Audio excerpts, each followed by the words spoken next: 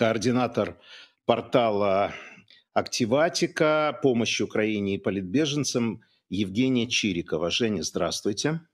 Здравствуйте. Рада вас видеть. Э, да, вот э, прочитал Медведев. Помните, там что-то такое, что-то такое прочитал, долго думал. Вот я читаю каждый пост Медведева и, и долго думаю, что вот это вот такое. Он сегодня много наговорил, это не наша тема. Ну, в общем, короче говоря, всех испепелим, а, а если вы там рыпнетесь, то вам кирдык и так далее. Зачем он себя э, выставляет на посмешище? А, вы знаете, э, это вообще удивительно. Помните, мы в прошлый раз с вами говорили про э, метаморфозы, превращения э, из людей в не людей.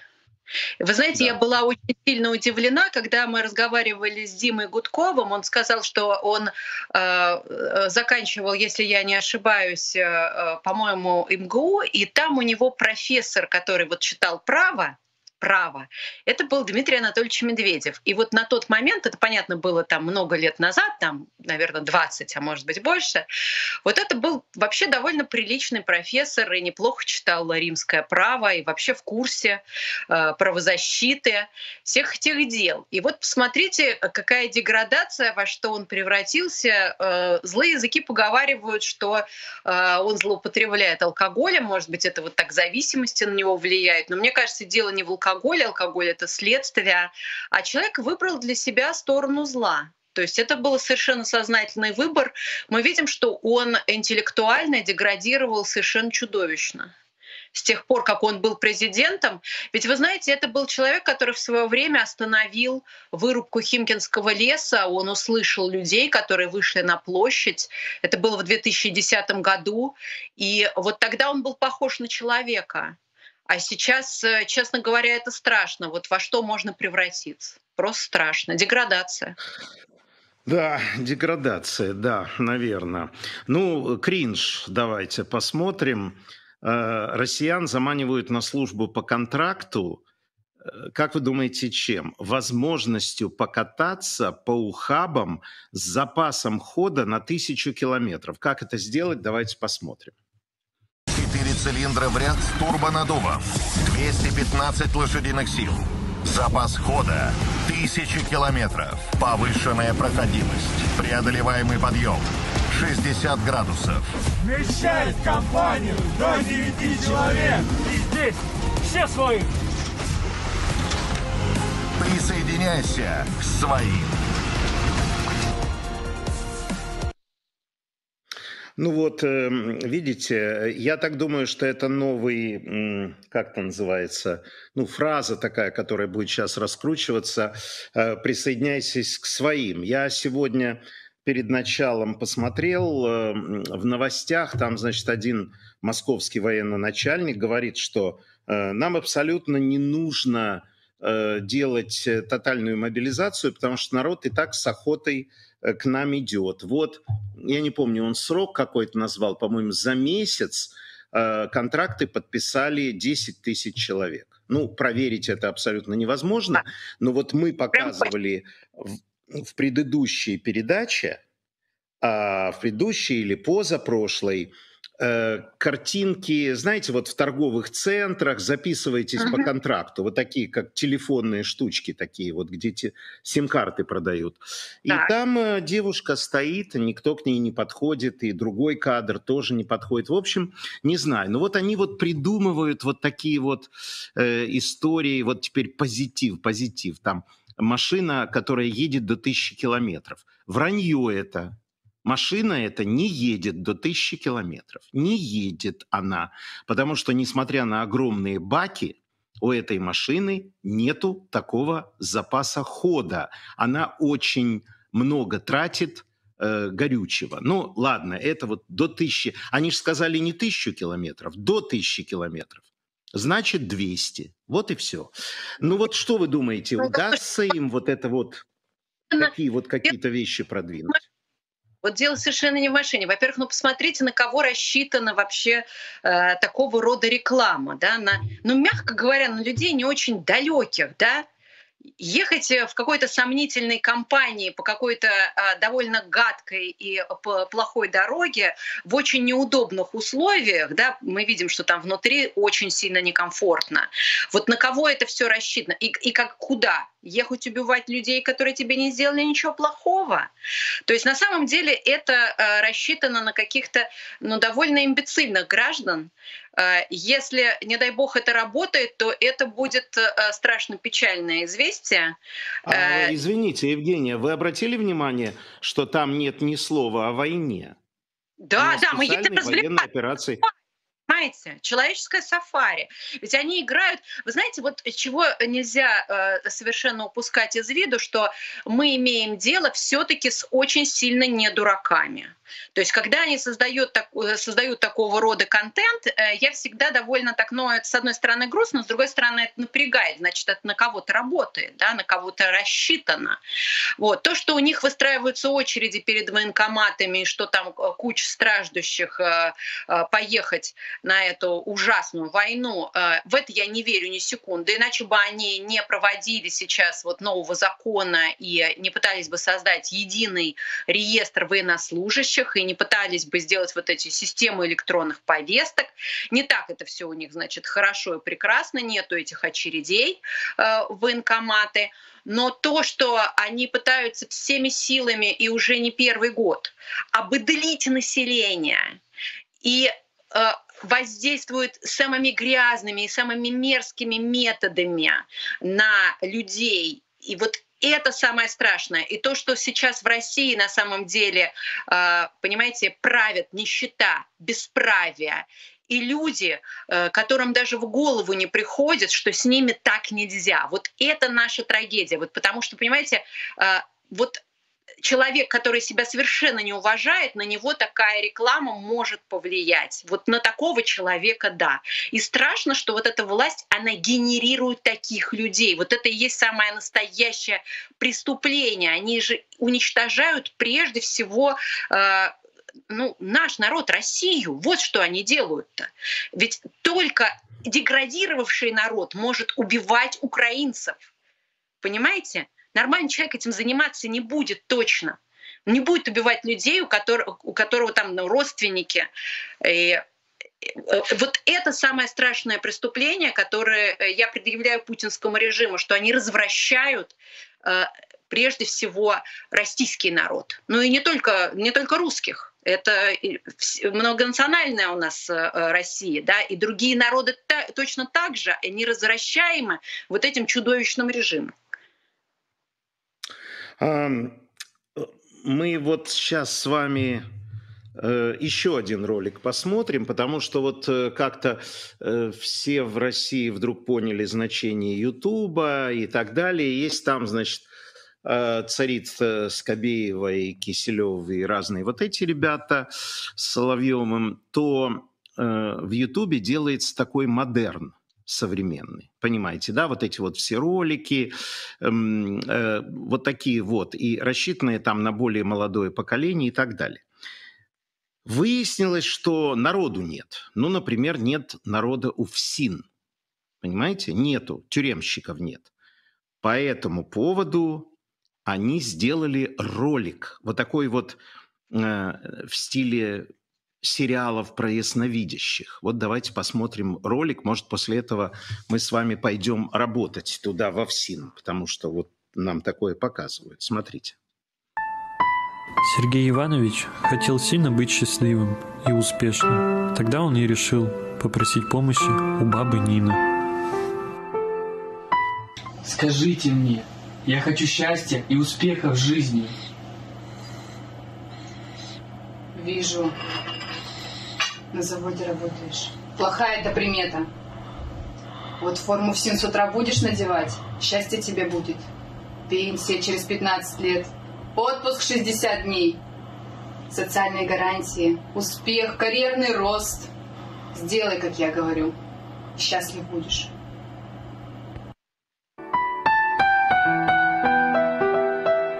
Сергей Иванович сделал, как сказала баба Нина, и стал успешным, а жизнь его наладилась.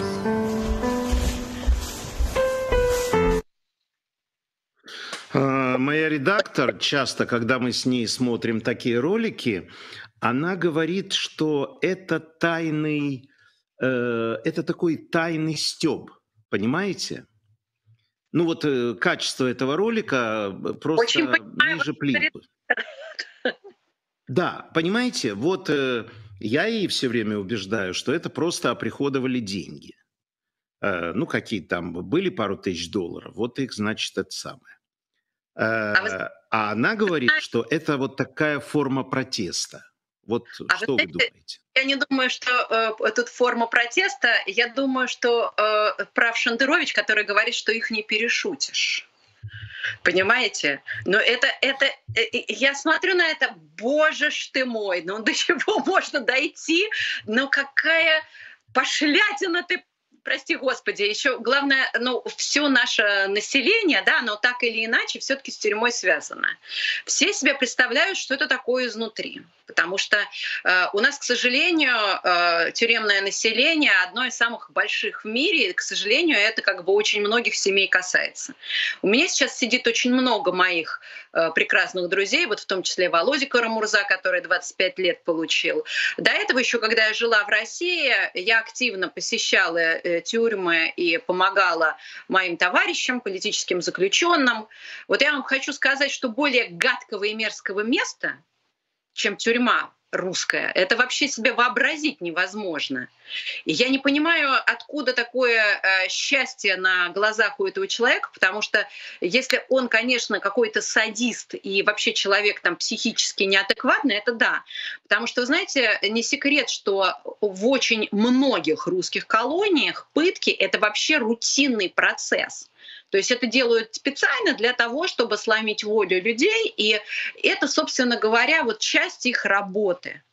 И вот Ну, работать... я вам вот скажу, вот я сегодня, простите, Женя, я вот сегодня прочитал про Навального, э, значит, новая форма издевательства над ним. А, Он покупает там в ларьке или в этом магазине какие-то продукты дополнительно, а ему эти продукты не дают, их воруют или рассыпают и так далее. Это сильно, это сильно, это так, знаете, ну, так Вот сказать, человек да, это такой, так, вот он какой-то специально пошел на такую работу, да, для, чтобы получать удовольствие над издевательством над другими людьми. А вы знаете, э, Матвей, я сразу вспомнила сегодня, только что перед нашим с вами разговором пришла информация, что э, в прошлом политический заключенный Эльдар Дадин, который очень серьезно пострадал за свою гражданскую позицию. Он выступал против войны в Украине еще тогда, вот давно, в 2014 году. Его посадили, одного из первого, за э, высказывание э, ну, против войны в Украине. И э, как раз у нас вот этот чудовищный закон по поводу свободы собраний вы знаете, он сидел очень тяжело, с издевательствами, с пытками, со всеми делами. Вот сегодня пришла информация, что он записался добровольцем на фронт э, в ВСУ и будет воевать э, на да. стороне Украины. Я читал это дело. Ну, я надеюсь, он, я надеюсь, он уже за рубежом. Я надеюсь. Ну, я надеюсь тоже, потому что эта информация официально пришла. Вот. Э, Он э, через русский добровольческий корпус записался, э, и я надеюсь, что все будет у Ильдара хорошо. Но вот я вспомнила, что он как раз прошел вот эти чудовищные пытки, издевательства, зверства. Тогда поднялась огромная волна против этого, и благодаря международной такой общественной кампании Ильдару удалось досрочно освободить. Но, честно говоря, вспоминая, что это были вот за люди, там кое-кто из тех, кто мучил его, они даже ну, на какое-то время были там отстранены от должности, кто-то там, правда, вообще слетел с должности, такого там масштаба был скандал. Но вы знаете, когда показывали фотографии, я была просто поражена. Такие обычные, в принципе, парни встретишь на улице, не скажешь, что это садисты, которые как бы получают удовольствие от того, что они человеку э, доставляют боль, причем человеку, которого, ну вот им ничего плохого не сделал. Вот. А, украинцев спросили, что они думают про биолаборатории, которые, по версии российской пропаганды, работают в Украине. Давайте посмотрим. Господи спаси, чем они там колются? На самом деле такой вопрос. А что, у них нет биолабораторий? Просто они такую дичь о нас говорят. У меня такой вопрос. Как они это выдумали? И нет ли у них самих такого? Потому что, чтобы до такого додуматься, наверное, нужно что-то иметь у себя в каком-нибудь городке спрятанное. Ну, бред сивой кобылы, если так просто в двух словах. Хотя интересно, когда наши каменаши, боевые гуси, боевые мухи, там их мочат. Оно прикольно звучит, не больше. Это смешно. Это смешно просто. Тут не о чем даже говорить. Я думаю, что это неправда, как и большинство пропаганды, которая существует со стороны России. Это явно полный бред, потому что это очень похоже на то, что раньше Россия выдвигала обвинения против Грузии, точнее Сакартвелла и других государств. Так что это всего лишь очередной шаг российской пропаганды. По моему мнению, это какие-то фейки. Мы же не страна НАТО, поэтому зачем нам устанавливать, договариваться с НАТО, чтобы у нас были какие-то биолаборатории? Я думаю, что это все выдумки. Это абсурд. Я в это не верю и не поверю никогда. Я думаю, что биолаборатории были, потому что наука, она существует. Но то, что Россия себе надумала, это все пропаганда. Нет никаких биолабораторий. Я не видела, поэтому, наверное, их нет. Ну, бред. Ну, бред. Но у меня много родственников в России тоже верят. Что скажут по телевизору, в то и верят. Ну, старшее поколение все-таки. Что тут комментировать? Это смешно. Тут нечего комментировать, это просто смешно. Да я там работаю. Я же в биолаборатории, занимаемся там. Гуси у нас есть, дикие голуби. Это все ИПСО также работает. Так что база, это база. Конечно, это одна из наших, это как беспилотники. У нас есть беспилотники, а это наша живая сила. А так, конечно, все это шутки. Какие биолаборатории? О чем вы говорите? Эм, хочу добавить к этому Михаил Крутихин, которого хорошо знают э, наши зрители, и вы знаете. Он написал очень смешной пост. Он, значит, звонит своим родственникам а, из Норвегии, куда-то там в Новосибирск, что-то вот такое. Э, и говорит, как дела? Они говорят, нормально. Потом они начинают говорить э, что-то вот такое про вот эти биолаборатории и так далее. Он говорит, слушайте, ну вы бы посмотрели интернет по поводу этого. Они говорят, мы не можем смотреть интернет, у нас нет на это времени. И последняя фраза. И это при том, что слышно за их спинами бесконечный бубнеж телевизора. Понимаете? Поэтому вот такая вот история. Э, вот. Значит, э, ну, тут нет смысла комментировать, я просто еще два сюжета хочу вам показать. Эм, будем брать Эстонию. Я хочу вам сказать, что у нас с вами, Женя, нет другого выхода. Абсолютно, ну, мы не можем не взять Эстонию, понимаете? И э, меня, поскольку у меня целый день бубнит телевизор, я вам покажу, почему я так решил. Вот посмотрите. Но они доиграются. И вот этот прыщ на теле Европы, который почему-то считает себя государством, никогда государством не было. Эстония. Не было в истории, в истории понятия государства Эстония. Никогда. И вот он теперь говорит, вот я когда не представляю то, что никогда не было государства, вот Россия не должна быть государством. А ее надо расчленить. Пусть посмотрят на Нарву и на Тарту, когда он говорит о расчленении. По-моему, на это больше шансов. Э, знаете, э, у них, конечно, кризис, потому что все, что они могут сказать, поскольку им не поступает информации и указаний, что по этому поводу делать, а то, что сказал, я не помню, э, премьер-министр Эстонии или министр обороны Эстонии, что Россия будет в безопасности, собственно, это рефлексия на это, только тогда, когда она распадется на маленькие государства, и у нее не будет сил воевать. Ну, когда она распадется, это мы посмотрим, но реакция, понимаете, реакция, даже МИД ничего не говорит, они собираются, говорит, ну, они играют с огнем.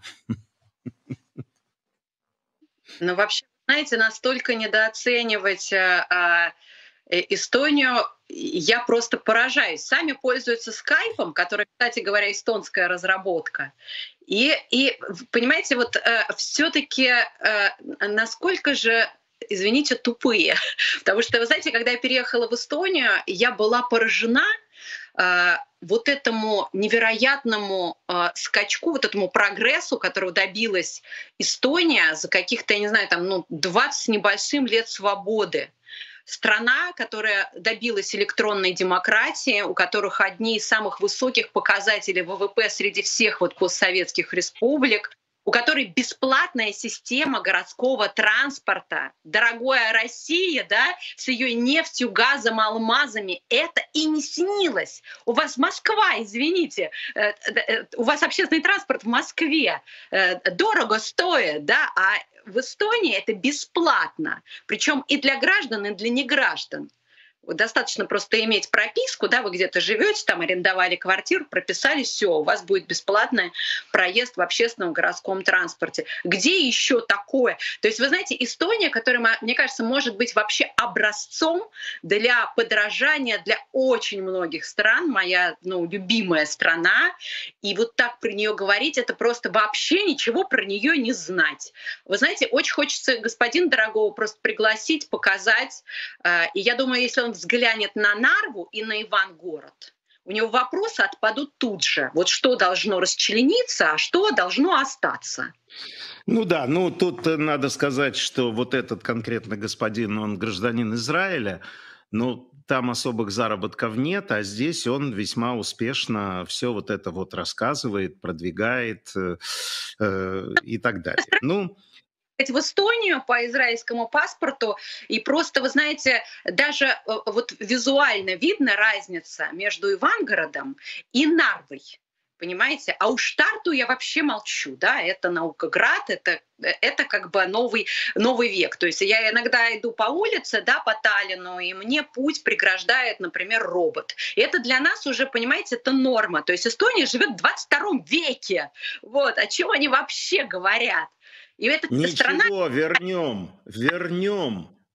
Мы ее вернем куда надо. Давайте Не посмотрим надо, еще один Лучше тянуться к Эстонии. Вот честное слово, да. потому что это пример страны, которая без ресурсов, просто за счет своего населения умного, работящего, смогла выбиться в, ну, в лидирующие позиции. И это, конечно, э, э, это, конечно, поразительно э, как люди в России вообще не знают ничего про Эстонию. Вы знаете, вот эти сказки про то, что здесь угнетают русских, что вы здесь рот по-русски не откроете, вот эти все глупости, что здесь кого-то там освобождать надо.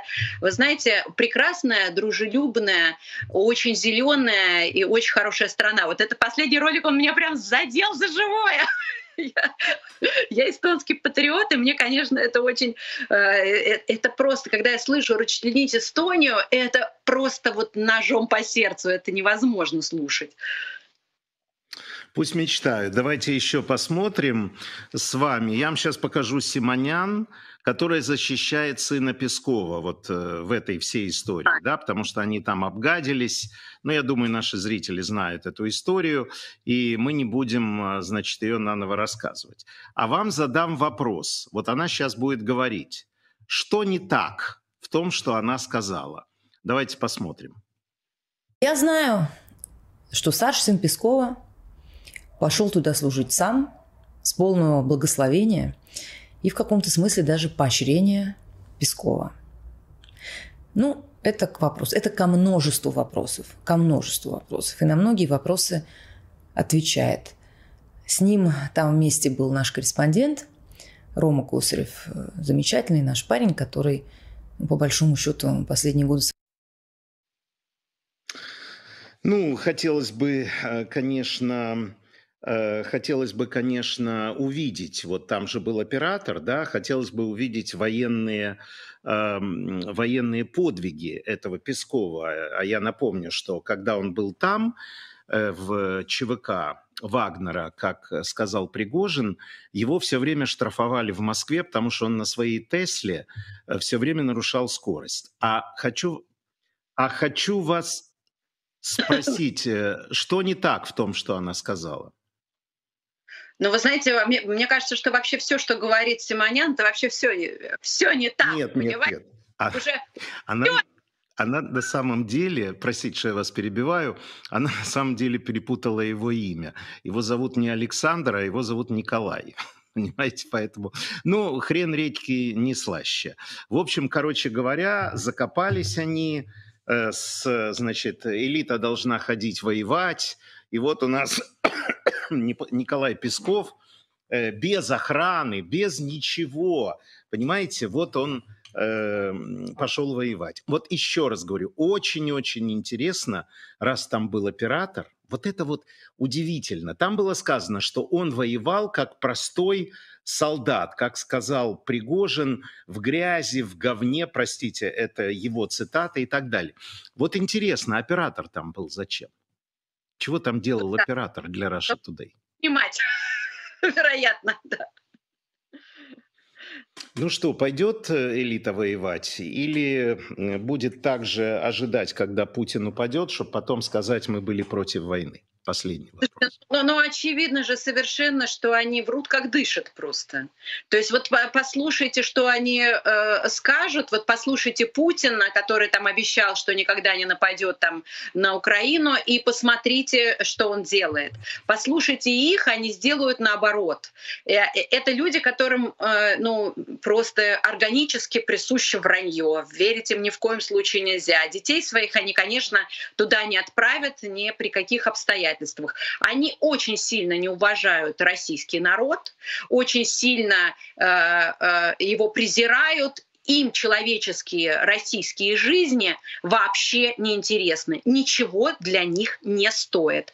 Э, они сейчас уже угробили в этой никому не нужной ужасной войне больше э, россиян, чем за все 10 лет афганской войны. Им наплевать совершенно. То, что они вычищают э, деревни, где живут э, коренные э, жители, да, э, жители, представители коренных народов, э, которым вообще, вы знаете, у них вообще нельзя мужчин молодых отнимать, потому что э, у них тяжелейшая демографическая ситуация. У них вычищают э, мужчин, в том числе тех, у кого маленькие дети, отправляют их на эту чудовищную войну. И э, на самом деле им не жалко никого, ни русских, ни нерусских, вообще никого. А вот своих деток они, понимаете, в надежное место припрячут. Это вы можете вообще ни разу не сомневаться.